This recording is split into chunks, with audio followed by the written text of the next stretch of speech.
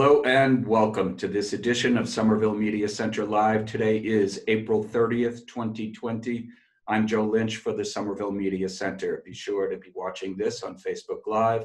Watch for the repost on Channel 3, Somerville Media Center, and on our video on demand feature. I'm pleased to be joined once again this week by State Senator Pat Jehlen. Patricia Jehlen, how are you this afternoon? I'm good, thank you. So Very far, good. so good. Good, but we have some uh, decidedly sad news that we're going to be talking about today, which is going to center on COVID 19 confirmed cases and the number of deaths within our nursing facilities, our assisted living, and our long term care facilities. Um, before we get started, Pat, I want to thank you for your kind words. Um, a COVID related death hit me very early this week, over the weekend, and, and this week. And it just goes to prove, even though Senator Jehlen and I are going to be talking about a lot of people who may have underlying health care uh, concerns and people of a certain age, um, I just want to make sure that people understand that this vicious disease can hit anywhere, anytime. Because my personal connection to this was a longtime friend, perfect health, 56 years old with two kids. So, and it happened very, very quickly uh, within a seven day period. So, I want to thank everybody uh, who has reached out, including Senator Jehlen. Senator Jehlen, let's go right into these sad statistics that we now have about the nursing facilities, long-term care facilities, and how this disease is hitting our people of a certain age. Well, as of yesterday, uh, the number of the percentage of people who had died in Massachusetts who had died in nursing homes was 58%. Close to 1,500 people have died in nursing homes across the state. And the state on Monday released a new plan to deal with it. It's late, but it's good. Um, but I feel disappointed that we weren't able to get the state to step up earlier with testing, PPE, staffing, uh, and money. Uh, they had stepped up with $130 million earlier in April, uh, which they distributed to nursing homes. This, this set of money will go out in two months, $130 million. Uh, it will be used only for staffing, PPE, infection control, and uh, they will be monitoring every two weeks to make sure it's correctly spent, and there will be consequences if it's not. So I think it's a good response, but it's just heartbreaking to talk to people. Um, I have four people who've contacted me uh, about our relatives in one nursing home. Um, they it's very hard to talk to their relatives only one person a day at most is able to talk to the to the mother in one case the mother doesn't speak english and there's no one there who can talk to her so imagine that person with alzheimer's and someone comes in to test her and stick a long stick into her nose to take a swab and no one can talk to her it's just incredible to imagine how scary it is. Uh, think about people with Alzheimer's who don't know why they're they can't remember why they're being kept in their rooms, why they can't go out, why people are coming in with masks uh, and and clothes and gloves. They're not used to it. Why are their meals late? Uh, it's really very scary, and for the workers, it's very scary also workers are, are getting infected, workers are dying. Um, and to try. I heard of one. Mo- Sorry, Senator. Go ahead. Uh, I just one, one worker who had died as a single mother. Sen- Senator, I'm sorry. It looks. Senator, it looks like your your transmission is freezing a little bit, so we're having okay. a little little trouble understanding. Here. Um, everybody's off the computers upstairs. It's still not, not working. Um, it's intermittent. We know you're still there, Senator, but your, your screen has frozen and your, your audio is breaking up.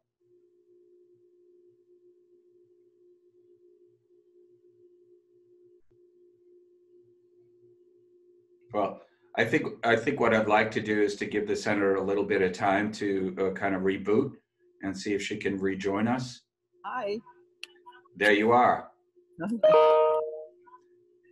Okay, we're doing our best. I don't know. We, we are, we're gonna stay with you, Senator, so don't worry about it. It's all challenging for everything. This is the least challenging thing about the problems. Um, where did we leave off? Oh, Um, we were talking about, you had been mentioning a new tranche of funds that are coming in to assist these folks who are having so much trouble um, trying to attend to their residents. So the funding can be used for staffing, for infection control, uh, and uh, PPE.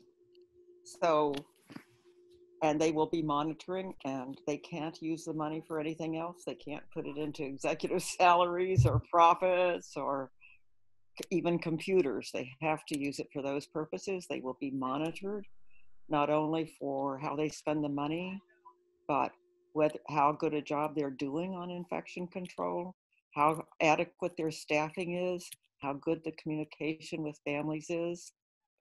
So I think it's a really good plan. I'm very, very happy about it. Um, I know they're already, and one, they're also providing ways for people to get for institutes, uh, for facilities to get staff uh, because staffing has really been a problem. They are So- going to finally send in the National Guard to do what they call medical and muscle. And they are going to make team 10 teams of 12 people each available to the most hard hit. Um, Senator, let's stay, let's stay with that staffing part of it so that people understand why um, the funds are needed to beef up the staffing. And I read one of the reports yesterday that it, it just is heartbreaking about what a vicious cycle that this vicious disease is having on the care for our seniors. We typically have um, a number of attendants in a congregate housing like a nursing home or that are not necessarily the doctors and the nurses. Those are the folks who are helping these residents get to the bathroom or they're helping a resident get to the television room or they're delivering their meals if they are inbound in their apartments. Unfortunately, what's happened is that those workers, many times, that is not their only job. They are also working at other healthcare facilities, or they're working a second job, maybe at a supermarket or at a. And what's happening is that they are coming into the facility and to no fault of their own, unbeknownst to them, they may be COVID positive, but they cannot get the testing and they need the money to subsist. So they continue working.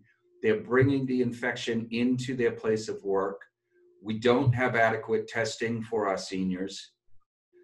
What's happening now is that that 58 percentile is showing the true underbelly of how this disease does not care. It's going to find a host somewhere and it's going to travel with that host. So when it goes back to how this money is going to be used, they have many of these workers, low paid workers who are working in these assisted living, these nursing homes.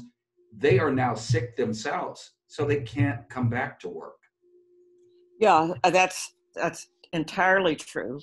Uh, I forgot to mention that the state will be also requiring testing of all patients and all staff in every nursing facility. Uh, that doesn't include assisted livings at this point. Uh, assisted livings are separate because they are not uh, funded by Medicaid and the state, and they're not regulated by DPH. So I have a Department of Public Health. But um, what you said about people having to work two jobs because they are paid 13 or 14 dollars an hour that is entirely true um, some of the cases have been brought in by by workers who were asymptomatic.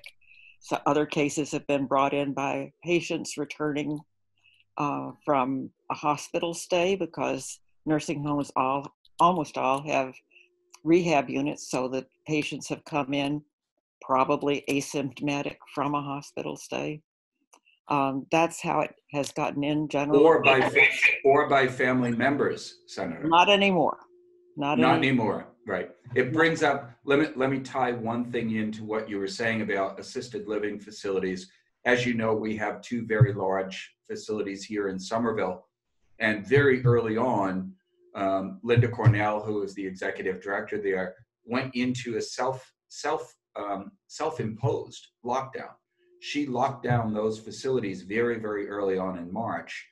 And as we reported, and she has reported out, their cases are almost nil in terms of the worker workers being positively identified and their residents being identified. So I, I'm not trying to compare the public side versus the private side, which assisted living facilities really are. But Well, they actually do get state money, but they're not regulated by the Department of Public mm. Health. Right, but she, you know, I, I'll just give by way by way of example, and anecdotally, Linda said to me, you know, a lot of the families of those residents in the assisted living facility couldn't understand at the very beginning of this why they were being told they could not come in to visit their mom or their dad or their their grandparents. And it was precisely for that reason that she took those actions is that those folks living in some of those facilities are highly susceptible to communicable disease and they don't care that disease didn't care where it was coming from No. so i just wanted to add that to, uh, as a kind of a um, you know kind of an example of folks who took um, actions very quickly and very early and but she's facing the same dilemma that all of our assist all of our our um, elder care facilities are is that she's some of her staff won't come into work because they are afraid um, or can't come into work because their spouse may have lost their job and is now positive so they have to stay home with kids. There's a whole mix of reasons why this thing is affecting everyone. But back onto the um, assisted living, I just wanted to make mention that again, it came across my feed this morning that in one veterans home alone, 70 of those patients have died. And, and it's just astounding to me that when we, we as a society, Senator, not you and not all the good work that our legislators are trying to do here in Massachusetts, it's astounding to us that are still in good health looking at how we talk about taking care of the most vulnerable amongst us whether it be young kids or people of lower income or our seniors. How this could happen in this society is just mind-boggling to me. So It's- It, you're totally right that I think that it has revealed stuff that we knew about inequality.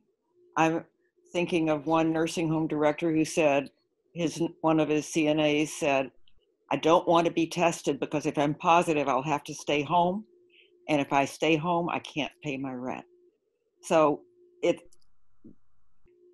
it has revealed that this industry is built on low income people risking their lives uh, to do this important work.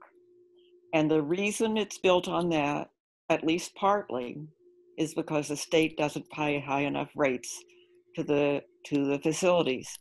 At the same time, there are for-profit companies buying up most of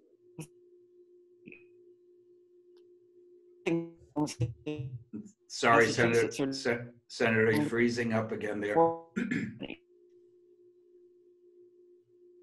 oh no, what can I do? It says I'm unstable. Yeah, Uh, well, I, do? not going to be. I'm not going to be fresh on that. Senator. Uh, it's not me, it's my internet connection. It- Uh, If you would, if you would like to go to audio only, Adam, Adam is in the background here. Adam, is there a way that we can just, Senator Jehlen can use the uh, I can dashboard? take off my video. Stop, stop video, yeah? video. That? Stopped it. I don't know. Okay, there you are. There you are. So you're still on audio with us, Senator Jehlen. Sorry.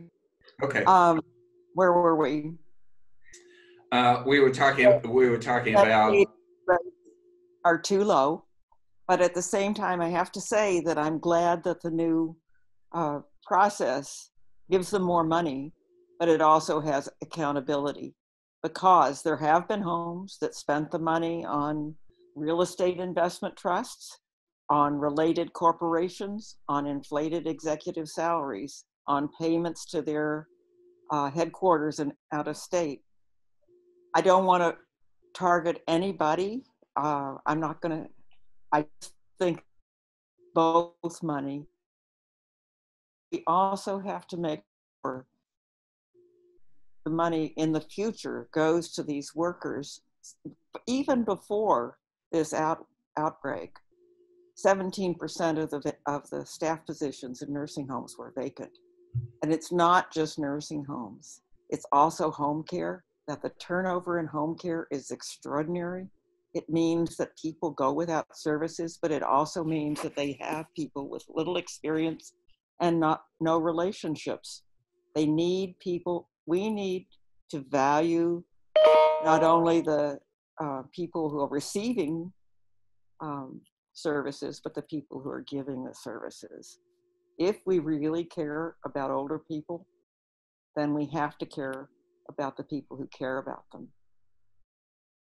That, that's an excellent, excellent point, is that we cannot provide the care to the most vulnerable amongst us if we don't have healthy, well-paid caregivers. Um, I think it's just exposed that across the board Mm. that um, so many of the people who provide uh, the care, the essential services, the food service, the meat packing, the um, delivery, all of the places uh, where people are really taking care of other people, preschool teachers, um, daycare workers, um, personal care assistants, all paid too little to live in this society with the kind of rents and the costs that we have. Let's, um, I want to go back to something that you mentioned before, Senator Jehlen, and, and that was the $130 million. My understanding is that is the second tranche of, of money that's coming out of the state. Is that an accurate right. statement?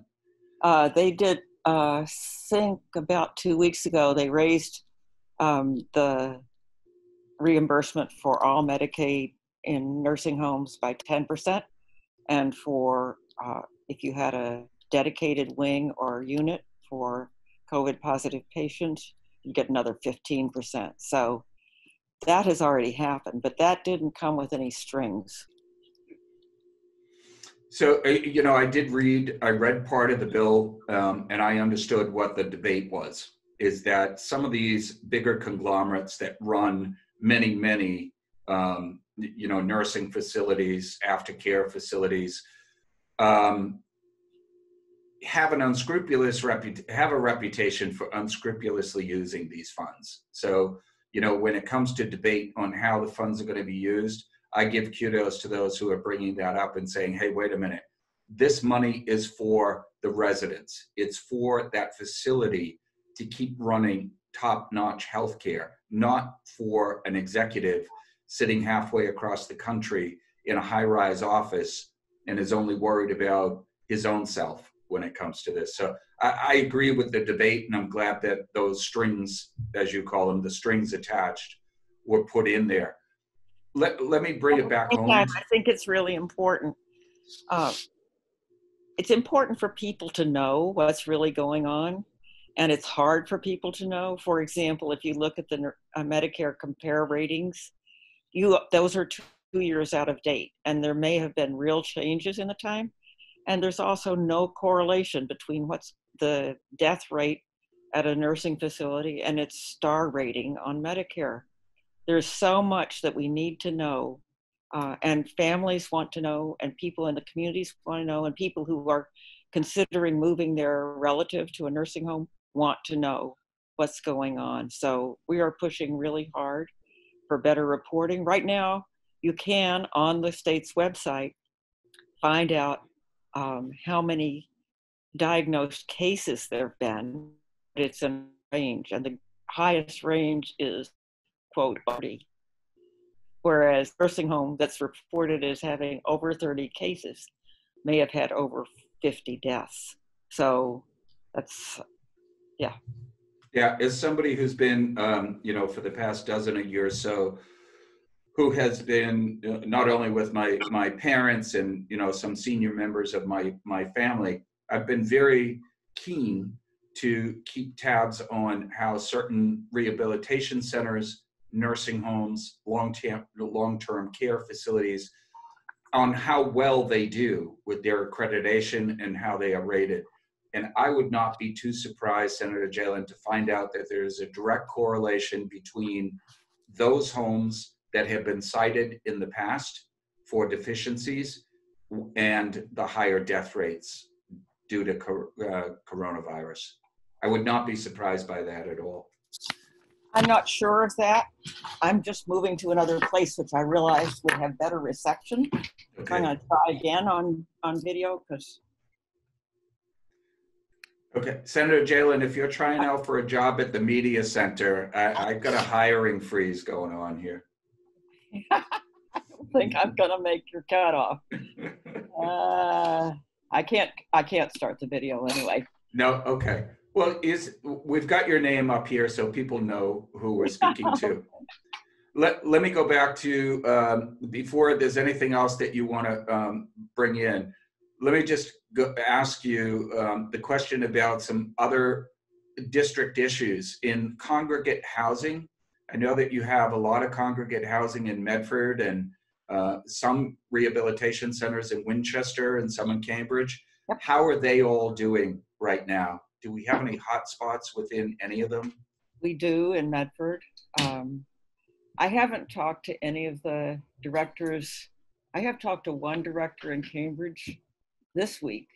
I talked to everybody in all of my district last week, and um, I think everybody had the same concerns, which was PPE and staff and testing.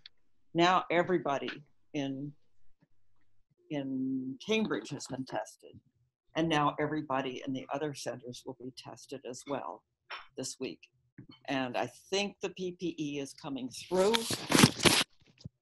And we will, I think I told you that we will, for people who are desperately short on, on staffing, there's two ways they, there's three ways they can get it. Uh, one is the state is helping them with getting a- people from agencies or also from furloughed hospital and um, other uh, sources, people, healthcare workers who've been furloughed, but also the National Guard will go in. And also they have these teams, uh, specialized uh, rapid response teams of 12 medical professionals who will go in. And everybody should know, one of the things, most, many of the things that are in the report are things that we had recommended and that, because we'd heard them from directors of nursing facilities and from workers. And one is that they are now allowed to hire people called residential care assistants which are not certified nursing assistants. Uh, it takes an eight hour course online, and you can be hired to do this work. And you can sign up on the state portal. Uh, so maybe later on we can post, or people can go to um, the state website. Oh, be quiet. Uh, uh there. Senator um, Jehlen, we got your resume for, but no, I'm sorry, you're not qualified for Central Media I'm never going to get a job with you all. but listen, the Postal Service is looking for people $21 an hour and and full benefits and pensions. postal service. Yep. There you go. But Well, we're gonna, we Uh, are going, we are going to be uh, culling through a lot of the uh, currently available information for elder care, elder services, job opportunities, and we are gonna be posting those on the Somerville Media site. Um, The, there, the problem that people are facing across the board, uh, even restaurants, but certainly uh, elder care, is that because unemployment now has the $600 extra benefit, it's hard to get people to go back to work. right, right, But right. you can't say that the unemployment benefits are bad. It's good. It's wonderful. Uh, we just haven't, the balance is hard. It's, it's going to be difficult, Senator Jehlen, moving back, m- moving back into anything that even remotely remember, uh, resembles normalcy. But speaking of moving back into a semi-normal way of doing things, what's the word from the State House? Um, do you get any sense as to when the actual facility may be reopening? The State House? The State House. Well, actually, it turns out uh, that the House was supposed to go back into virtual formal session today with actual votes.